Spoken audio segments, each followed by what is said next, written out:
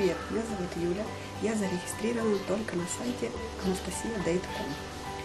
Я очень люблю общаться в чате с своими друзьями.